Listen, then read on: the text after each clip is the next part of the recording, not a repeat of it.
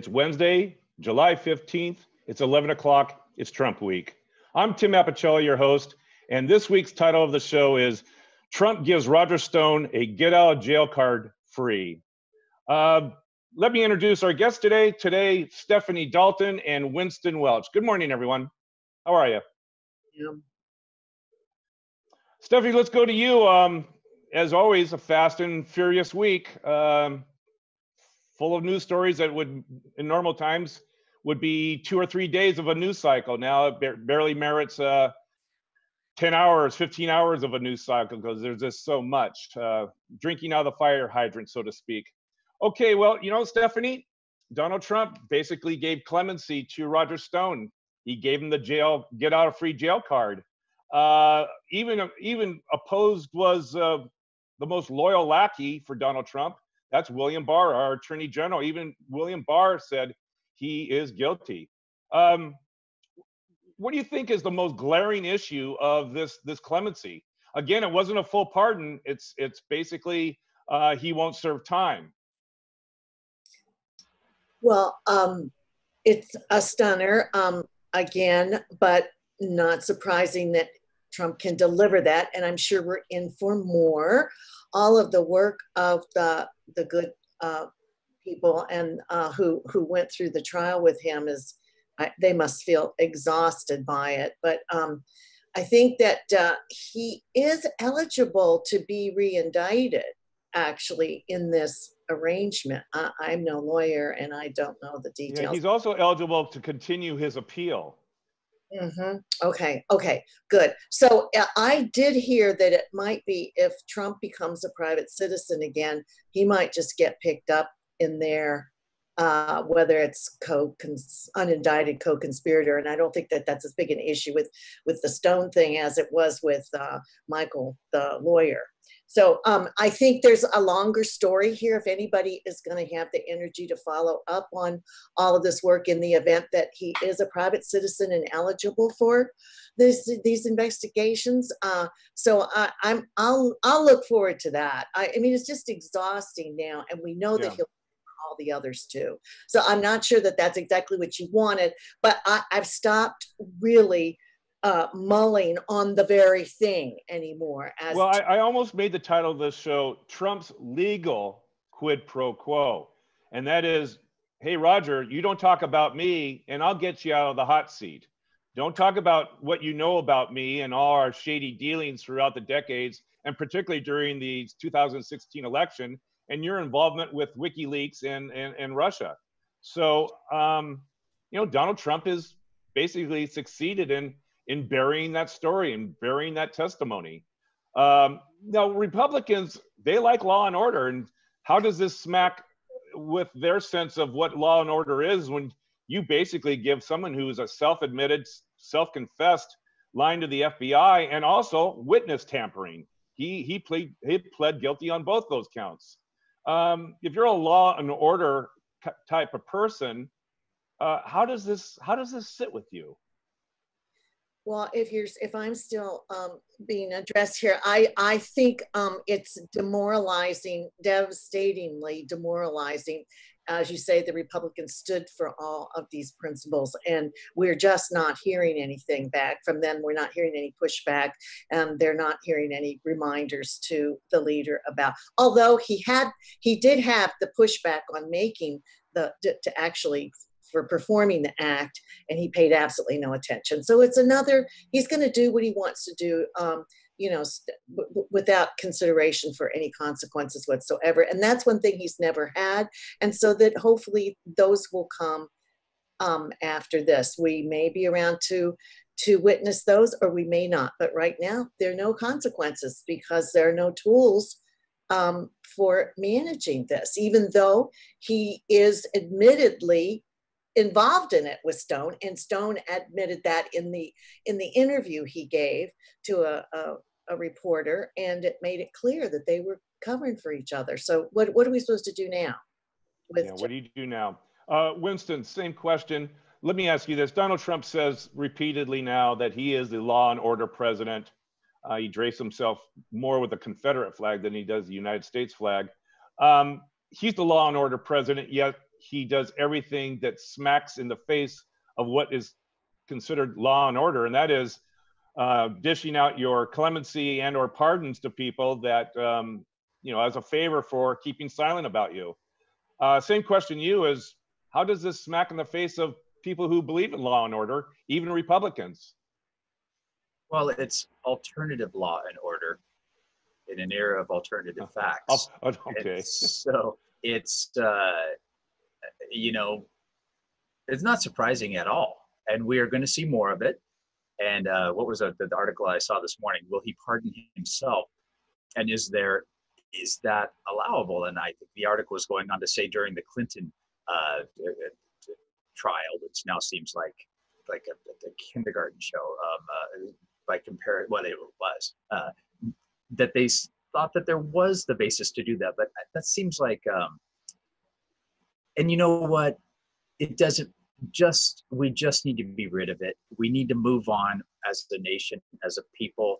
Every norm has been violated. Laws have been stretched and abused and manipulated to a point that we don't recognize what is law anymore. And the type of order that he may have in mind is not what most americans have in mind. And so i think as we're as we're coming clearer and we're coming up for air and you're seeing even a couple a couple of heads breaking the surface from, from uh, former republicans lifting up and saying oh wow where have we been? What, what has gone on? You're just seeing basic starts of that as there may be some sort of uh, movement away but honestly donald trump is completely supported by his base. That is not going to change. So anybody who's viewing these um, uh, pardons that are going to come down the pike as something that's wrong. They will not view it that they, they will view it that that is political persecution that needed to be remedied by a presidential pardon.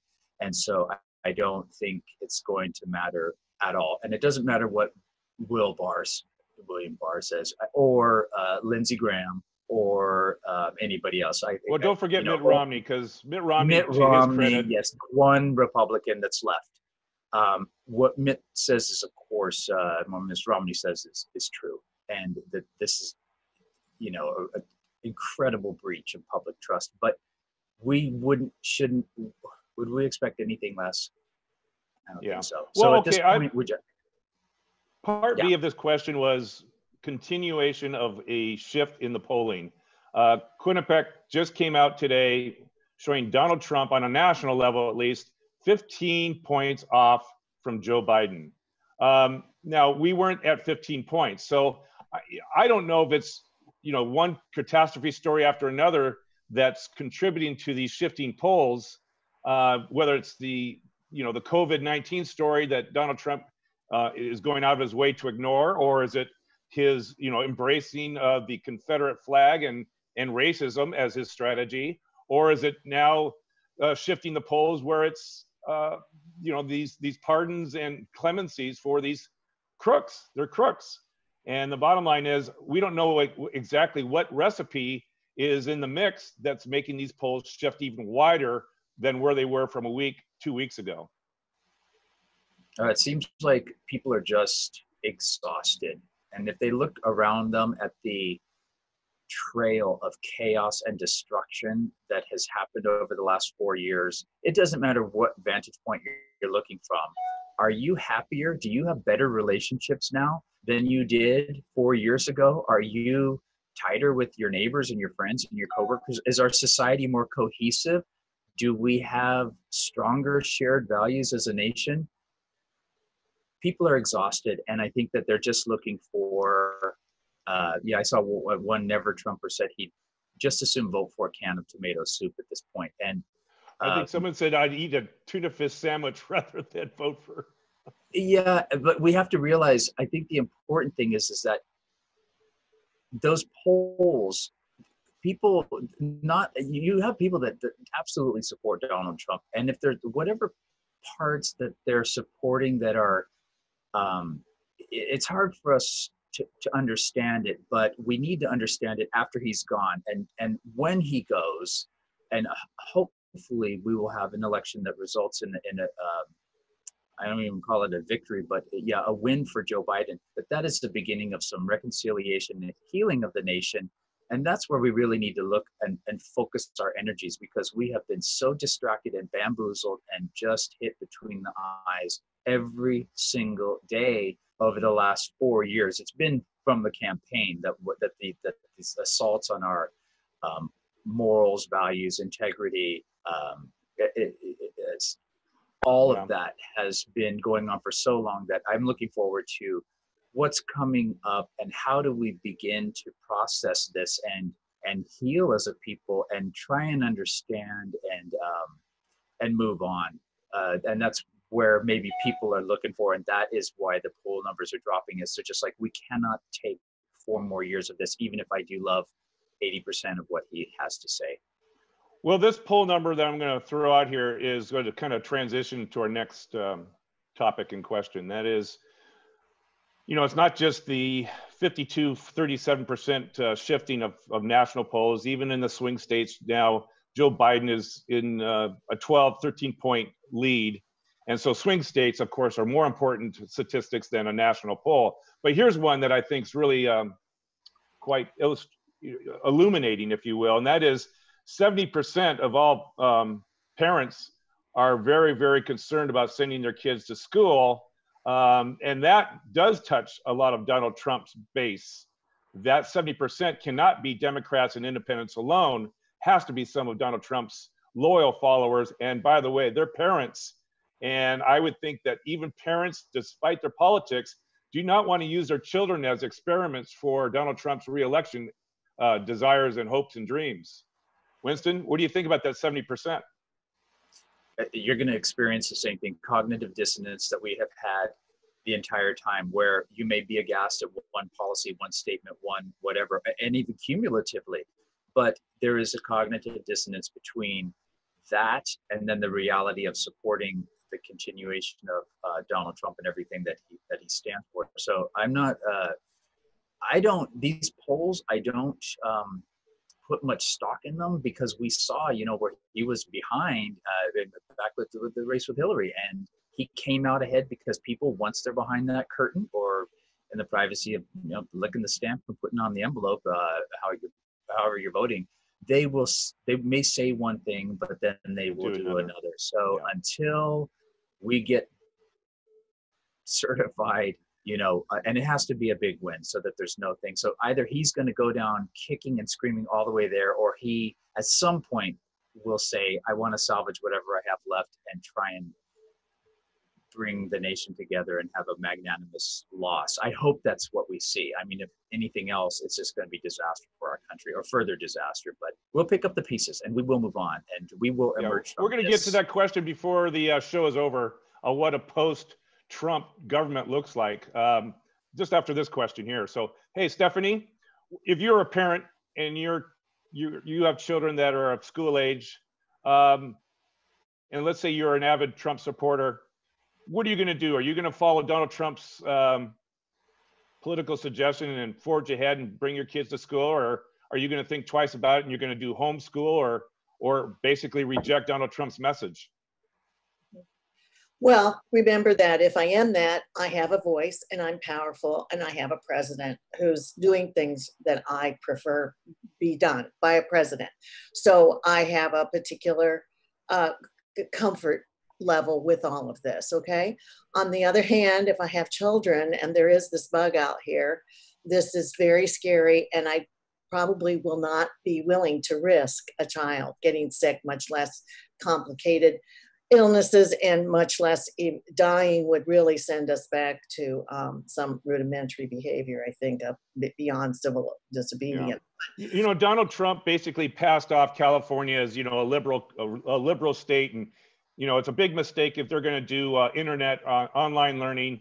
Um, but that's, you know, that's California. What do you expect from them? Well, Texas just announced that they're going to do the exact same thing. They're going to go on to online education be, and they're going to reject Donald Trump's uh, message about pushing forward to reopen schools. Does well, that, I, yeah, oh, I, I wanted to quote Arne Duncan. And uh, he's been on a couple of times, who was Obama's uh, Secretary of Education. Of course, we saw the current Secretary of Education be completely flabbergasted and inarticulate when she was asked on CNN, what's the plan for a, an occurrence? And that was kind of like ask, asking her, you know, if there's a wild shooter in the hallways of elementary schools, what's your plan? Presumably there's a plan. But on this one with the virus, she had no plan at all. And so then um, Arne Duncan said uh, that you might the way Ronald uh, Donald Trump, there is for him there is no number. There's no 50 kids dead. There's no 100 of people dead. There's no 500 people gone. There's no thousands being sick and ill and on the way to uh, those trucks that they're all hauling in now because they need more space for the bodies. That will not move him. He is totally unaffected by any of those numbers. So there is nothing there to motivate him to pay attention to the actual circumstances that he's putting the children in and the concerns that the parents have, much less the teachers who have to go in and be accosted by uh, you know, uh, just multiple sources of infection potentially. So I, I think that, that that was good advice. He said, do not pay attention to him. You go to your local leaders and you, your local people that you've elected and put in place, and they will make the decisions about the schools. So I think that that gives us um, a way of thinking about everything with uh, with any trying any trying to solve the problem by Donald Trump is uh, about he doesn't really care about it except insofar as it approaches his own needs to be elected. And he brought it up on the day that we had the book coming out by his niece. So it was brought up only because that he it's not like he cared about getting the school topic on the agenda but he was trying to distract from the niece's book coming out that day. So that was that's another a good point. That's a good point stephanie you know just going to illustrate a little bit of his thinking. When asked about you know parents concern about sending their children to school donald trump basically said schools should be open schools should be open. Kids want to go to school and they're losing a lot of our lives by keeping things closed. We saved a lot of lives, we saved millions of lives, and we did for the national good. Um, he, so what he's doing, he's grasping on the fact that, well, two or three million people haven't died, so that's success. I mean, he's he's changed the narrative of what success looks like. Uh, that is not two or three million uh, lives lost. It's you know 137,000, and that's that's a big difference. It could have been two or three million. So he's he's trying to redefine the bar of success and he's trying to ram that down the throat of parents that really aren't going to play ball with this idea well not when it comes to the children. Now not when it comes to children I mean, and I, okay, I can understand people are distracted from that by the current concerns they all have themselves. But but Trump is only interested in getting parents back to work. If he has any any uh, in the water here, it's only about getting the babysitting system going again, not anything about the quality of education or the way it's going to be done, or or preserving the lives of all the people in that industry. And that is what is so deplorable. Is it at no time has he spoken to the numbers of people that are down? And when he does it, it's kind of, you know, very it's flat. It's flat. It just falls flat on its face. No empathy, no anything. No, I'm going to work, do everything I can to have not one more life given over to this bug. Uh, there's just nothing um, that he's done in that regard. So it's really quite, quite frightening. And um, I, I don't know. Power is is what is very magical uh, and and people will do anything for power but i think that when it gets down to risking the children of the nation i don't know. I don't think uh, that woman you asked me to be for a while i think that might get some thinking going. Okay. But, mm-hmm. thank you stephanie. Winston um, you might have heard of a gentleman by the name of chuck woolery. This was yes. the uh, game show host for the love connection And Chuck Woolery, um, I didn't know he was a scientist, and I don't think he is a scientist, but he had a, an opinion that Donald Trump actually agreed with, and he retweeted it. And then later on, kind of mimicked, basically restated it, saying that the COVID 19 is basically a hoax. So this is what Chuck Woolery stated. The most outrageous lies are the ones about COVID 19. Everyone is lying. The CDC, media, Democrats, or doctors, not all, but most, we are told to trust. I think all of us is about the election, keeping the economy from coming back, which I think it's about the election. I'm sick of it. So Donald Trump is saying, yeah, this hoax of a virus, which he initially back in February said it was a Democratic hoax. Then, you know, he switched positions to say, okay, it's real and we're going to do what we can and we're going to we're going to try to clamp things down. Now he's back to I'm not going to pay attention to it. It's irrelevant. I've moved past it. I'm on to the election, my reelection. And by the way, Chuck Woolery, he knows exactly what he's talking about because it's still a hoax.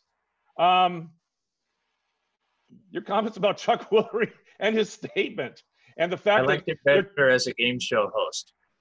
bingo, Um, bingo. I- Yeah, you, you know, you think about this, um, and it's not that ordinary citizens shouldn't be concerned and involved. So, to that effect, uh, to that level, that's that's great. But to have the president of the United States retweeting something like this, hey, let's.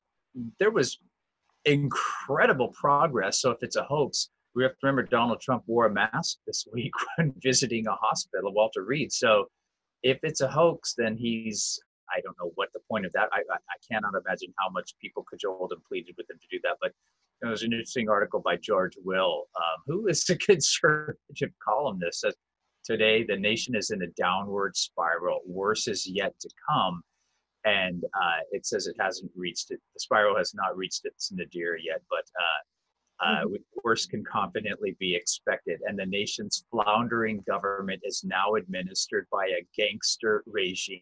This is from the conservative yeah, columnist, yeah. Will. Gangster regime. That's that's incredible to hear from George George Will. Will.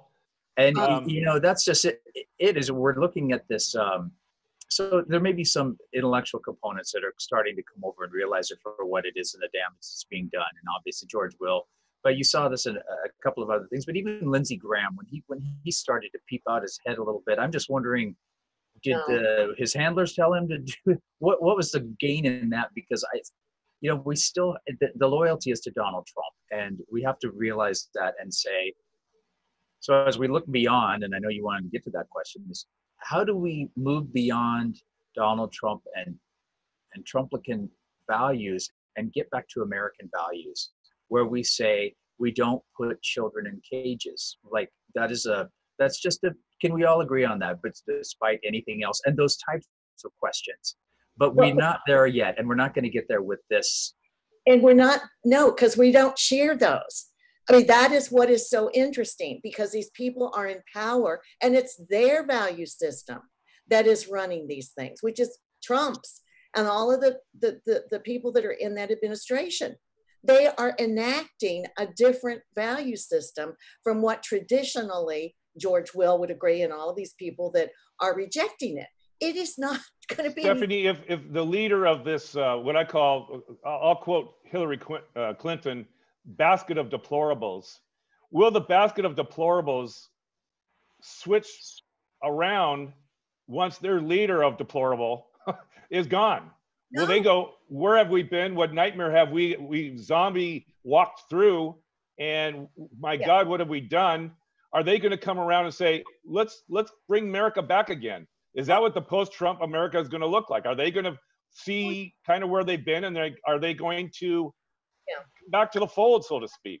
because I finally gotten to grapple with it. These people are not just mistaken others who will come around to agree with me. These people have their own views. They are real. We have to learn them. We have to work with them.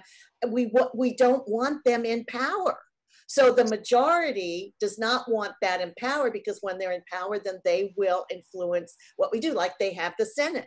And I remember when we got the House in in uh, 18, it was thrilling. But I said, wait, wait, what's happening over at the Senate? Because without the Senate, you're still subject, okay? And oh, aren't we subject to it? So these people are there. They've been there. That's one of the reasons they're so tightly bound because they have the power. They have their spokesperson. Well, They- I, I guess I'm referring to a political shift versus a cultural shift.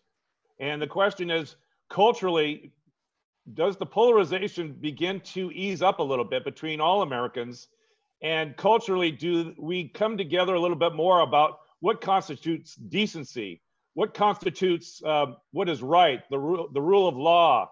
Uh, what constitutes um, getting along with your neighbor, not because it's a blue state or a red state, because we're all Americans.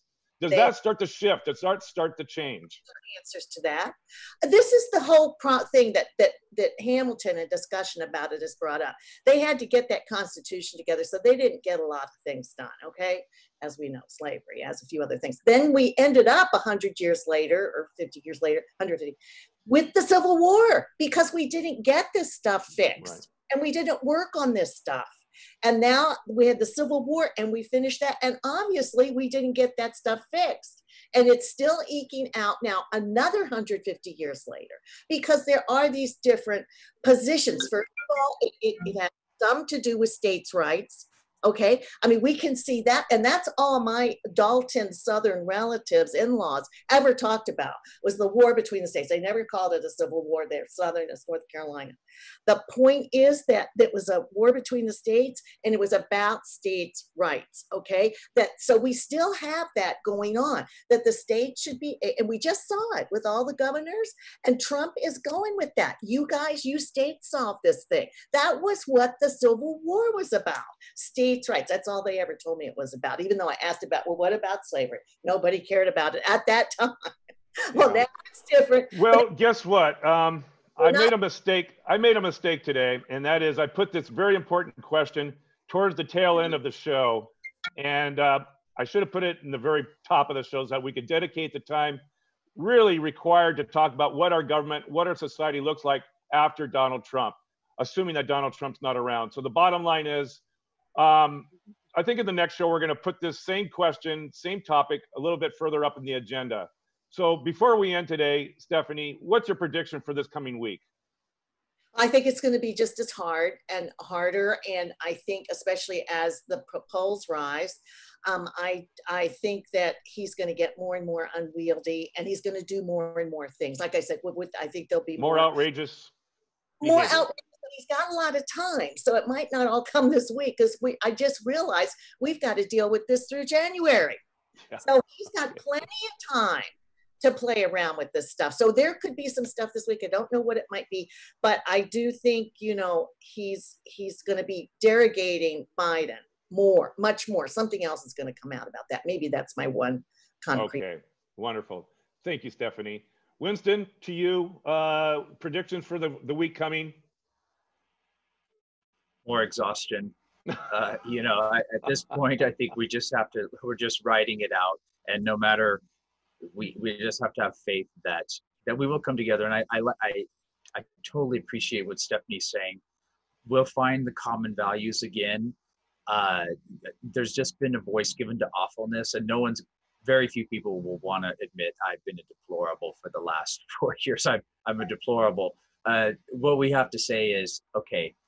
We don't share all of our values in common, but what do we share in common? And as we've devolved to a states' rights model and a new federalism, I think that's where the emphasis is going to go. And we have common things that are going to be kind of knocked down, and then different states and different regions are going to band together that have different shared values. And I that's that would be my trend for the future. But this week we will just pray for Ruth Bader Ginsburg and all of our leaders. Uh, She's been released from the hospital, by the way. For good health. She is yeah. in the hospital, so we will pray for for their good health and good decisions, no matter who they are while they are in power. All righty. Well, by the way, she has been released from the hospital. That's what good, I wanted to good. try to tell you. Yeah. Well, I still, all right. That's very extra hard anyway. Yeah, that she stays out of the hospital. So, all right, uh, Stephanie Dalton, Winston Welch, thank you so much for joining us on Trump Week. See us next week, 11 o'clock Wednesday. I'm Tim Apicella, your host. Aloha.